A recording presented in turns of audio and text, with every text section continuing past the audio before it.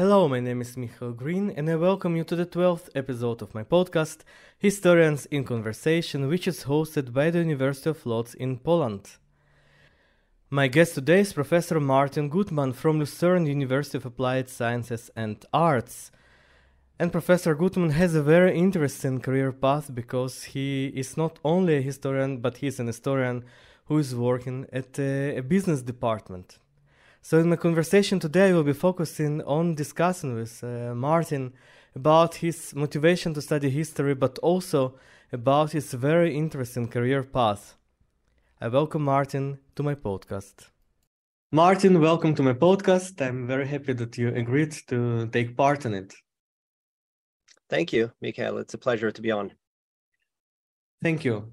Well, traditionally, it's already our 12th episode. I start with asking my guests about their childhood and their in the development of their interest in history. So I would like to ask you about your own background. Could you tell a little bit about your family, about your parents, siblings, where were you born, and uh, how did your childhood uh, look? Sure. Um, I was born in Sweden, in southern Sweden, uh, in a place called Vellinge, which is a small town just south of Malmö.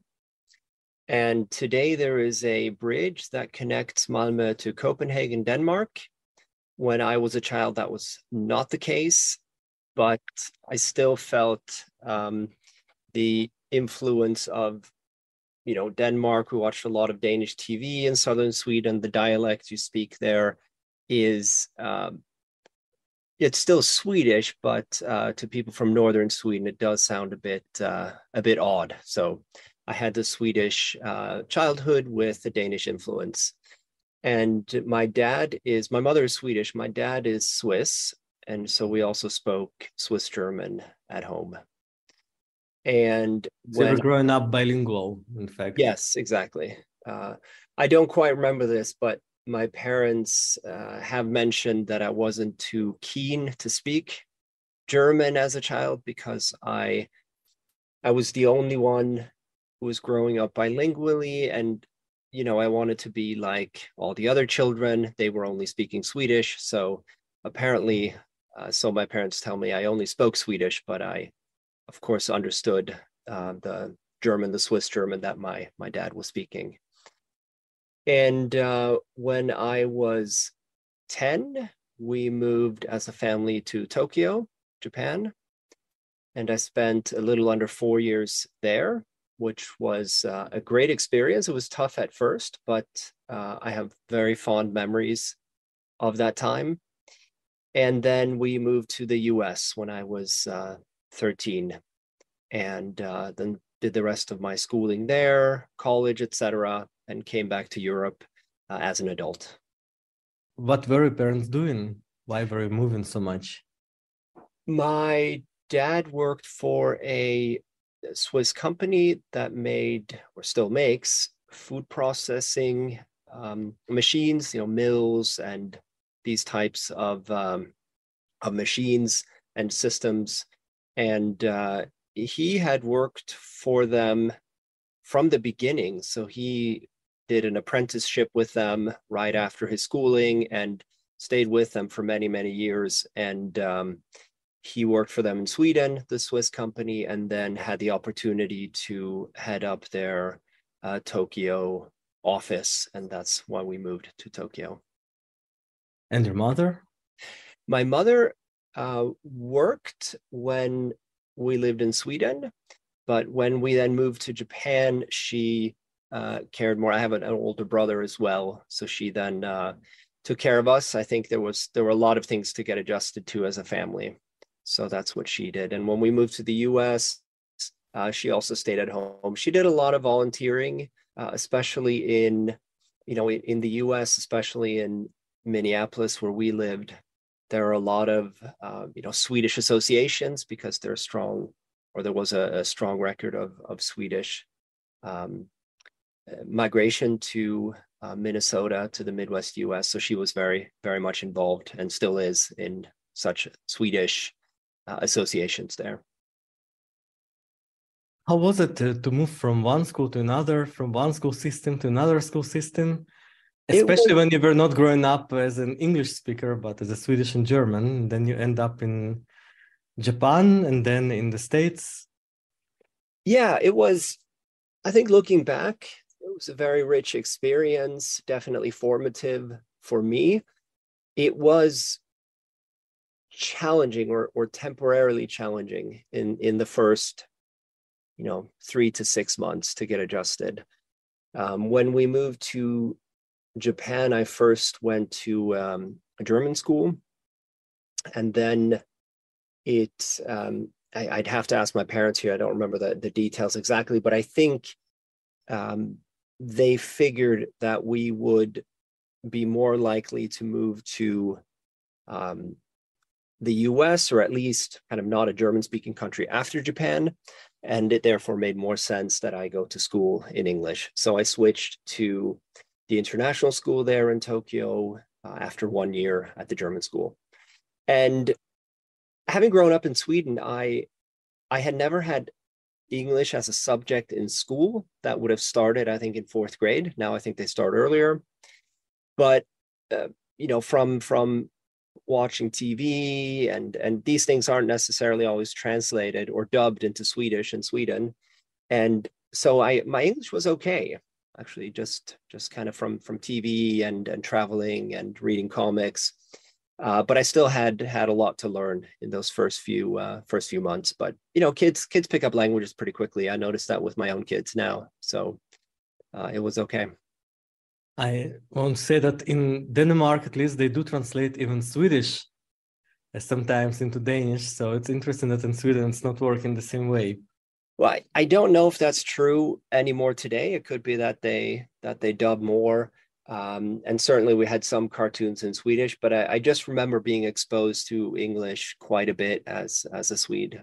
Um, and then you you asked about you know what it's like to to, move around and and speak these different languages as a as a child.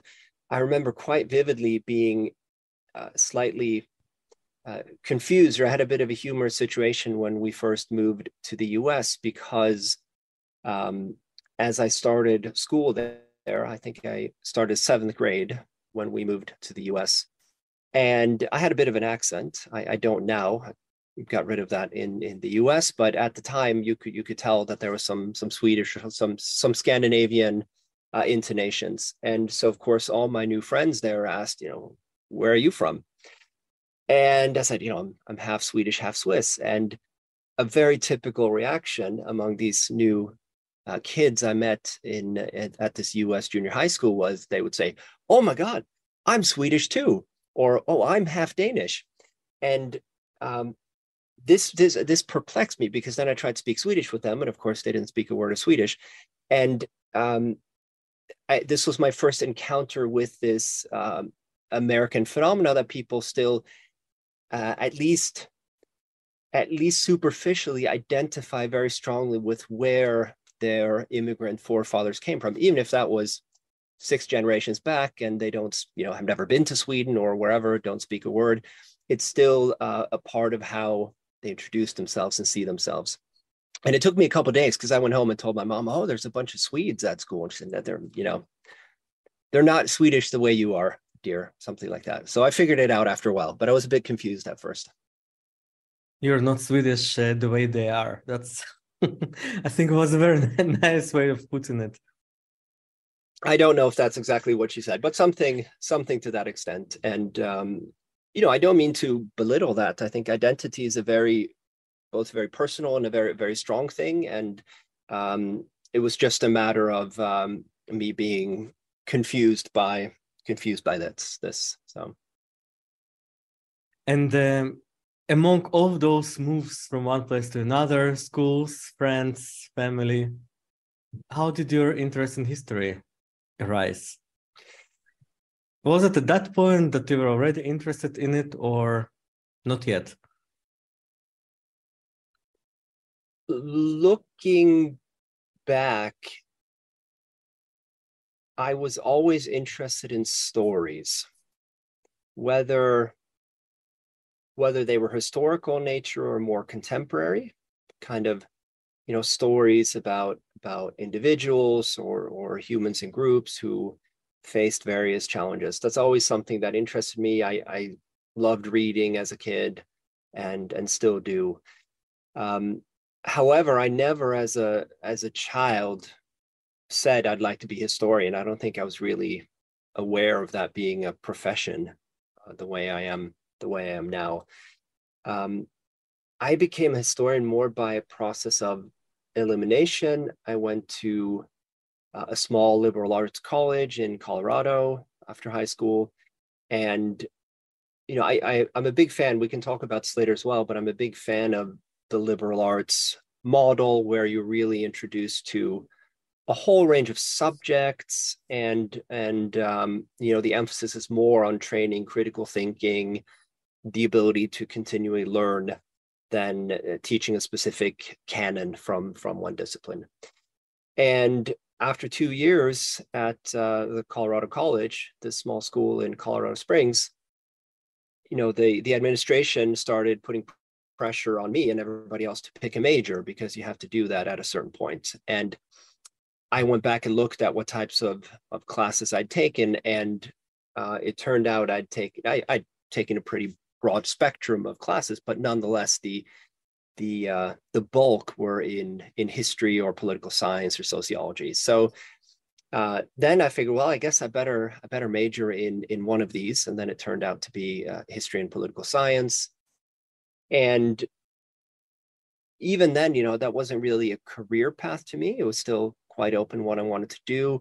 I spent a few years after college teaching, teaching history. I really enjoyed it, and um, you know, then began exploring you know is this something one can study further? What does that look like? What do the jobs look like? Um, if if i were to get a master's uh, and or a phd in history. So um, i think i was always interested in history but this idea of becoming a historian uh, is one that i realized only very late perhaps that's this moment when you realize that uh, you are facing half swedes half danes in uh, minnesota was the point where you actually start thinking about history as something more? Because you mentioned it, and I made an accent on that uh, phrase of yours, and it seems to me that it's something that uh, immediately had some influence on the way that you were thinking. Because you, you said, well, your mother's remark that they were not sweet in the same way that you were.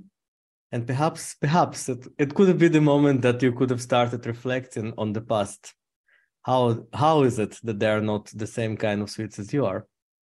Well, just a thought that uh, came up uh, from our conversation. But uh, the choice of liberal arts college was it a choice that uh, was conscious by your parents or by yourself, or it's something that it was just there and you went to the nearest school? Because, uh, well, I, for example, did it. I went to the nearest school. Um, no, so Colorado is uh, quite a ways away from from Minnesota, and uh, so it was definitely not the nearest school. And I did look at a few, you know, larger state universities um, and uh, a couple of different liberal arts schools. I don't know in the end how um, how I ended up making that choice. I I, I do know that I when I when I visited Colorado College, I liked how small it was. I liked it has the block plan. It's one of, I think, two or three universities in the US that have a block plan where you take one class at a time every day, uh, three hours a day, and uh, for three and a half weeks. And when that block is over, you move on to the next class. Um, in contrast to the traditional semester structure where uh, you know you're enrolled in three or four or five classes that meet once or twice a week uh, and it's all kind of mishmashed so here you're doing one thing uh, very um, intensively for uh, a three and a half week period and so i sat in on some of these some of these classes and i liked how how small the groups were how um, it, it became clear to me that the professors had a very open and, and close relationship to the students. There was a lot of discussion. and uh, so it just seemed like uh, a good fit for me, and and it was. I had a had a really nice experience there. I think an interesting experience. But then you mentioned that uh, you were checking various career options, having finished uh, already a bachelor's degree in uh, history, political science and history, as I see written on your CV. So why did you decide on this uh, potential career path into history and not on, for example, political science, which probably could have been offering more job opportunities than history?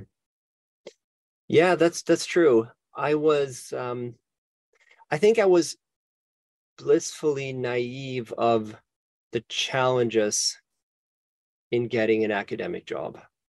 Uh, at the time and and you know this was pre financial crisis 2008 so there were more jobs available that not when i graduated with my phd but at the time when i was making these decisions that is so i, I think i kind of assumed whether i get a, a phd in political science or history i'll be able to find a job and um, i think again history just kind of it wasn't so deliberate and more a process of elimination. I did look at a few uh, master's and PhD programs in political science as well.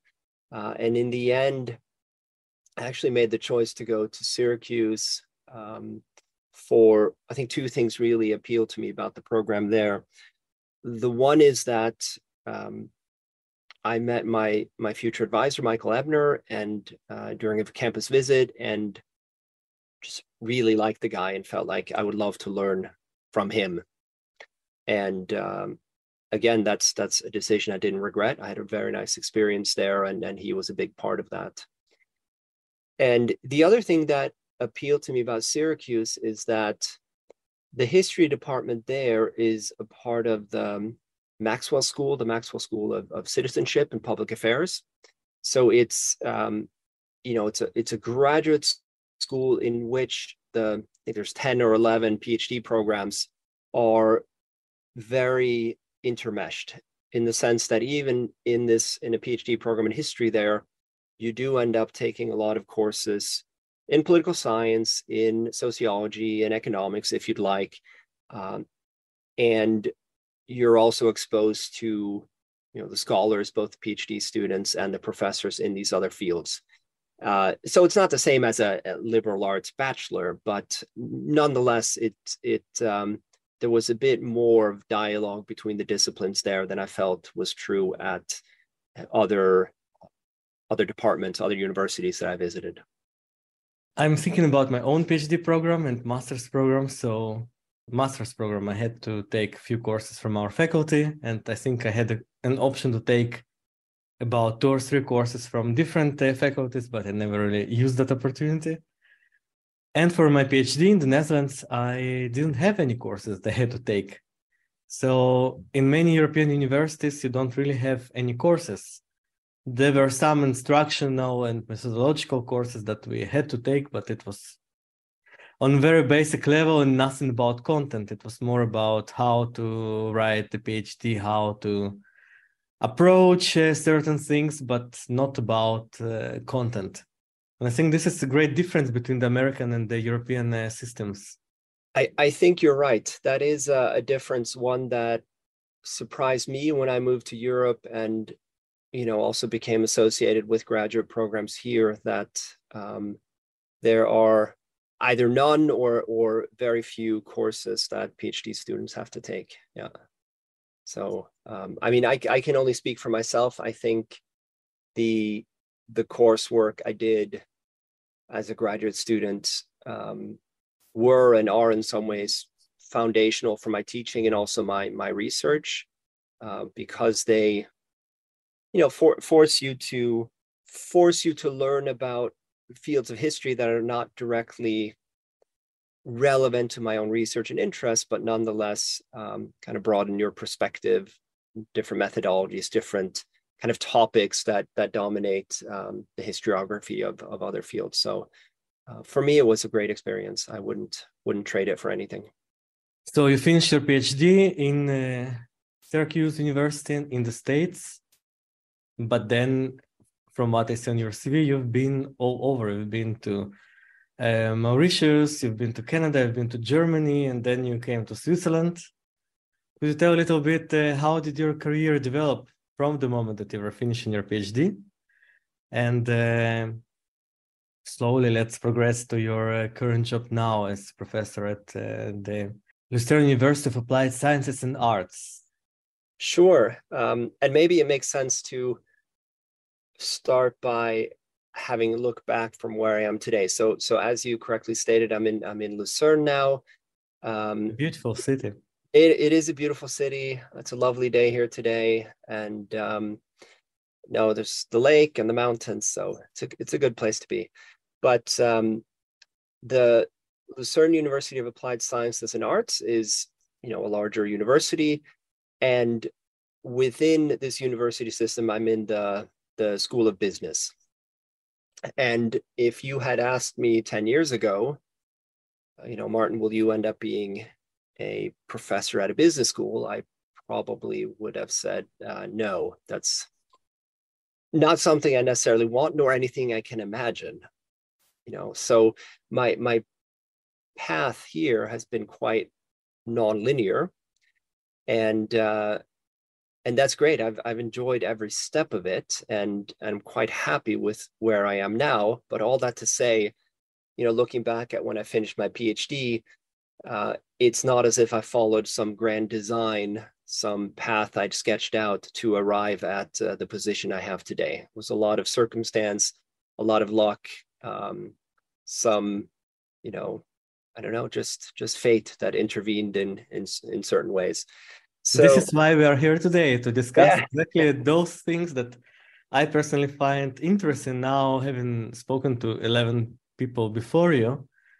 I discovered that actually every path is rather different, but there is a big difference between different people. Some of them really have a path in mind that they try to follow and invest a lot in advance to prepare themselves for the different uh, opportunities that may arise. Others don't.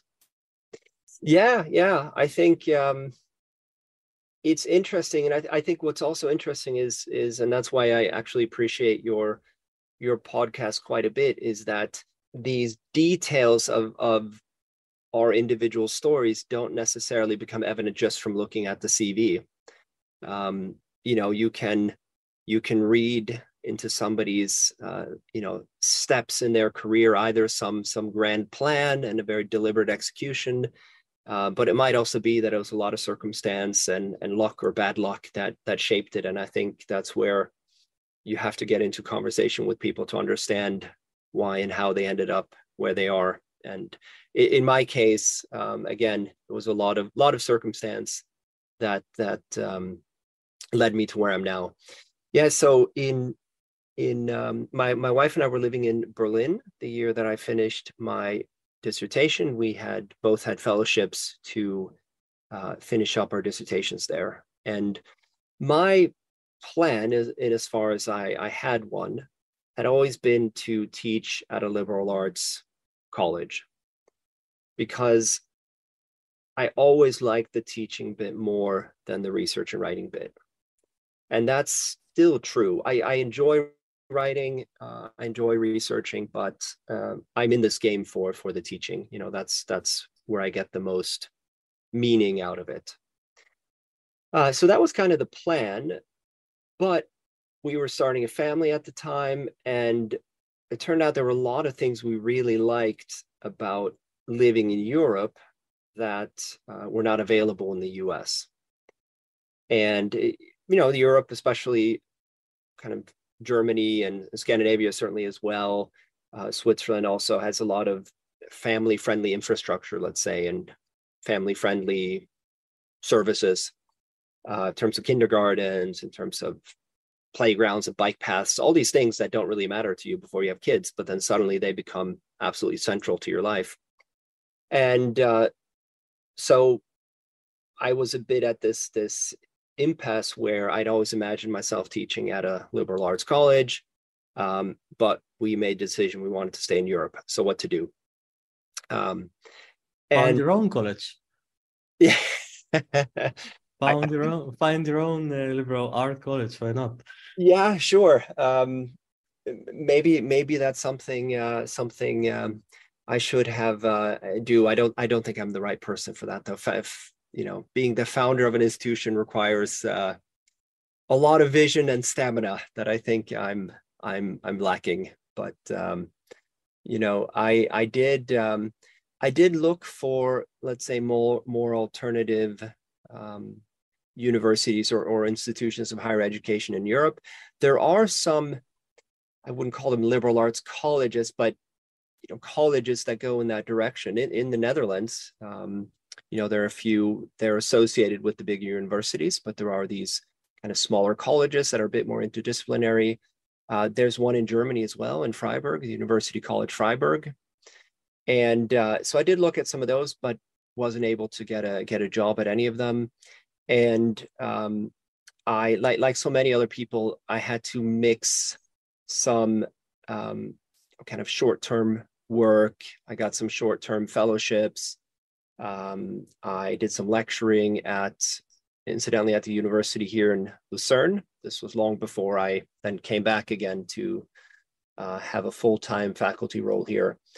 And I was able to piece that together along with some high school teaching to kind of pay pay the bills until I got a uh, a Marie Curie, this uh, a postdoc fellowship through the European Commission, and uh, that took us to Freiburg, Germany, for two years. I was at the university there, and already at that point, I I was very happy to have this this postdoc, but already at that point, I was deliberating whether or not to leave academia and do something else just seemed, you know, I was working really hard for very small rewards and the, the um, chances of landing kind of a full-time job with a decent salary um, seemed seemed rather small.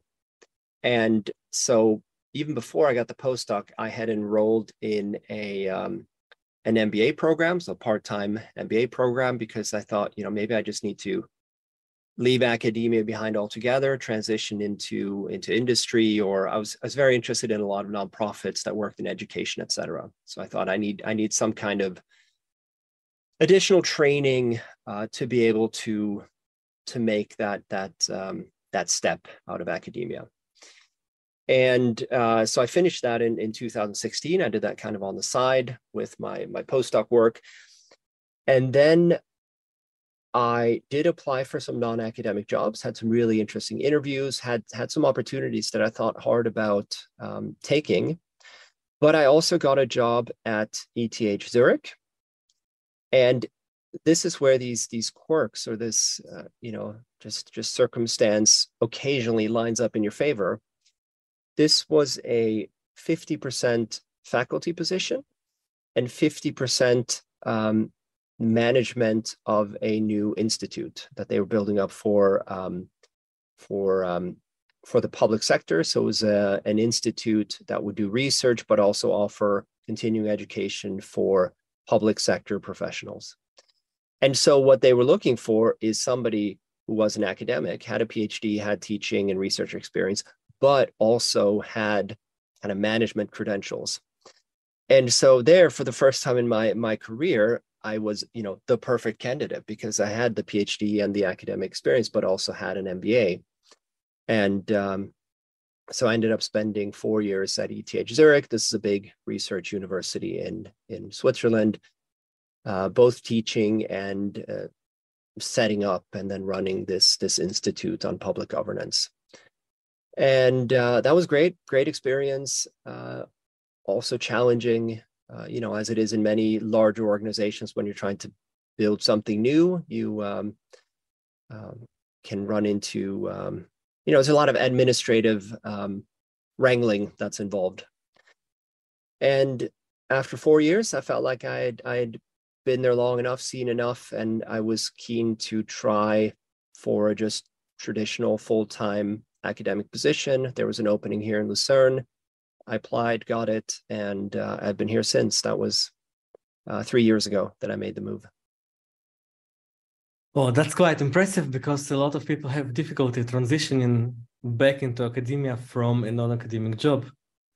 even if they work within the university. And I know quite a few examples of people who transitioned from academia into administration, continued doing some academic work, and actually still maybe do do some academic work, but uh, never managed to get back. So congratulations on achieving it. I think it's very impressive that you managed. And uh, now perhaps it's a point to talk a little bit about the difference between uh, ETH Zurich and uh, this uh, University of Applied Sciences that you are in at the moment. Could you explain a little bit for our listeners what's the difference between a traditional university and uh, Hochschule, is the German it, or the University of Applied Sciences that exists in many countries in Germany, in Switzerland, in uh, Norway, in uh, Denmark, I guess in Sweden too? Uh, probably. I I actually don't don't know how the Swiss system lines up uh, with with the Swedish or doesn't. So that's something maybe I need to research after this uh, after this podcast.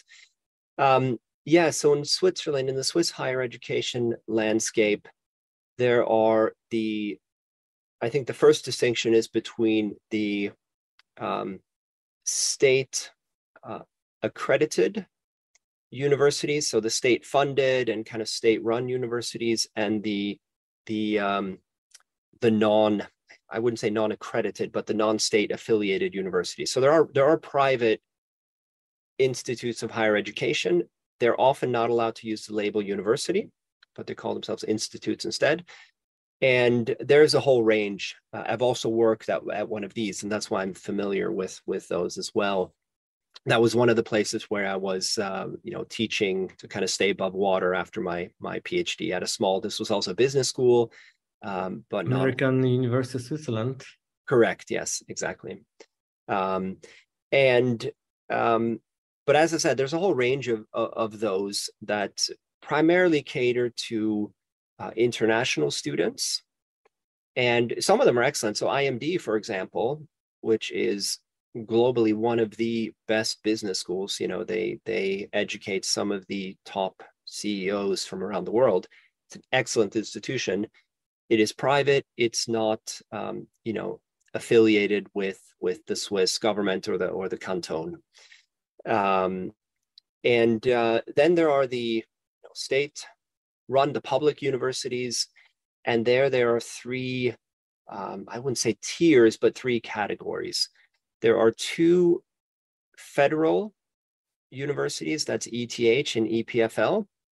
Uh, technically, they're one legal entity, but they have two campuses, one in Zurich, ETH Zurich, and the other in Lausanne um, in south um, western Switzerland, uh, EPFL. And they are very, very research focused on kind of core research, you know, physics, engineering, um, have very generous funding from from the Swiss government, and therefore also produce brilliant scientists, a lot, lot of publication output, um, and then you have the cantonal universities. So the cantons are the the provinces or the states uh, within Switzerland, within the federal structure. And not every canton has a university, but uh, there are a couple of such cantonal universities in the bigger areas of Basel, Zurich, St. Gallen, uh, Yeah, exactly. Bern. So I think there's there's seven or eight of those. We'd have to look that up to be to be sure. And additionally, there are uh, what in German is called Fachhochschulen, in English, universities of applied sciences and arts, uh, which, as the name implies, are more applied in nature. So some of the teaching areas are the same as the cantonal universities, they also have business schools. They also teach, um, you know, certain health sciences and engineering. At the universities of applied sciences, the emphasis is is more on the practical, on you know, really being in close touch with with uh, with industry and and the needs that they have. Um, and that, of course, was uh, was new to me um, with my background as a as a historian. If I think if I think back to when I got my PhD, you know, we never really discussed, let's say, practical problems. It's it's all very abstract, very very important problems. I would say I'd say some of the most important problems uh, that we as as um, you know humans should be discussing. But nonetheless, they're not you know about solving uh, some urgent need that uh, the city of Lucerne has today in order to ensure, you know, a smooth functioning public transportation system or something like that. And at a at a University of Applied Science, it's it's, it's very much about being in touch with and teaching and researching these applied topics. Also, when it connects to history. Yeah, I would say so, and maybe that's my my contribution here. Um, th- this is also where, for me, a, a comparison to the US is a bit instructive. I think at business schools in the US, it's not unusual to have a bunch of historians uh, on the faculty. I think in in the US, that's quite simply seen as you know as a perspective that future managers should learn to take whether it's uh, you know business history, uh, you know studying the history of how industry has evolved, et cetera, or environmental history or the history of social movements. These are all you know, important inputs for um, aspiring managers to have. That's not so much the case in Europe, or certainly not in Switzerland. Uh, so I'm a bit of an oddity as a historian uh, here. Uh, and I think the fact that I have since my PhD working at ETH uh, it, with kind of public sector questions at the forefront. Um, that definitely helped me become more sensitized to the types of topics that are uh, most urgent for aspiring managers and, and how to teach them. But I still bring my history perspective in every, every time I teach and every time I, I, you know, take up a research project. So are you now researching history? Uh, yes, yes, I am. Uh, so I have a couple of different research projects that are ongoing. Um, I'm involved in a large research group with researchers from a few different Swiss universities that aims to understand how cooperatives um, can help tackle some of the emerging challenges of global society in terms of climate change, uh, poverty, um, the strong uh, erosion of democracy that we see in some places. And uh, so, you know, that that research project has many different dimensions and the the strand that i'm responsible for is kind of the historical lens you know essentially asking how how have cooperatives um, responded to disruptive times in history in the past, whether it was um, the Industrial Revolution, where most cooperatives were born, but then the, the two world wars, for example, um, it can be quite instructive uh, to look at how cooperatives evolved and responded to those uh, disruptive times and try to um, draw some parallels to the situation we're facing today. If I'm thinking about your career, I think that uh, something becomes very clear, at least to me as a listener, is that uh, you were not putting all the balls into one basket, so to say. You were, in a way, historian that was interested in history, interested in historical research, but at the same time, you were also considering probably early on other opportunities because you did uh, do this uh, additional degree in, in uh, management MBA which eventually was the one that led you into the semi-academic, semi-administrative job. Do you think that it's something that uh, would be advisable to everyone who is doing history to think about it early on, not uh, think about it at the stage when you're already done with your PhD, but maybe even uh, at the stage of finishing the bachelor degree, even if you're considering to perhaps at some point become a professional historian to think about plan B already at that early stage? Or you think that one should follow his or her passions and uh, go with the flow? Yeah, it's a really good question. And I, I appreciate this observation you made about my career because it's not something I have thought about too much myself, but I think you're actually right that um, I did put my eggs in in multiple baskets, so to speak. And I think even within history, you know, even within my my work as a let's say traditional historian, I've never stayed focused on one topic too long. And I suspect that, or I know that this is not a, a deliberate choice to kind of diversify, but I think it just comes from my personality of having lots of different interests and and very quickly becoming curious about new things. So I was never very good at specializing. You know, I did my my PhD work, and then my first book was on uh, the SS within the the Nazi regime. I've since done a big project on the Sustainable Development Goals and and the historical background to those. Uh, now I have this cooperative things. I'm publishing a book in the spring on leadership, again through a historical lens. And it's not it's not as if I ever told myself I need to be really diverse. I need to jump from subject to subject. That's just kind of how things played out for me. And I see it both as as a strength and as a real deficit, I would say. Because and, and therefore, you know, is this good advice or not? I don't really know. Uh, because I, I see both sides of this. I think the advantage to being specialized, and I see this in some of my colleagues who are specialized in, you know, very, very specific topics within within business.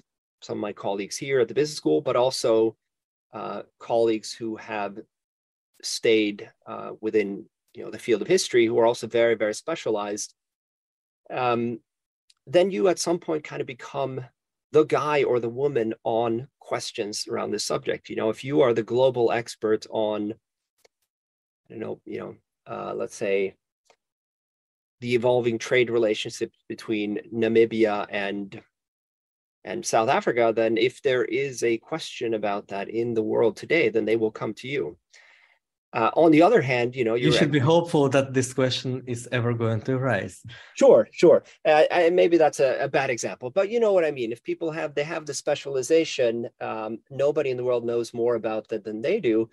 Um, I think a lot. There's a lot of satisfaction in that, and that's not necessarily something I have. And there's also, uh, you know, you become quite relevant when um, your specialization then uh, happens to be newsworthy or important in for business or society.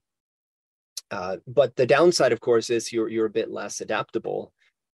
Uh, so, you know, again, I don't know what I would recommend. I think it depends a bit on your personality too. For me, this this diversification has not only paid off, but it's meant that I've had a really fun career where I get to learn new things uh, all the time.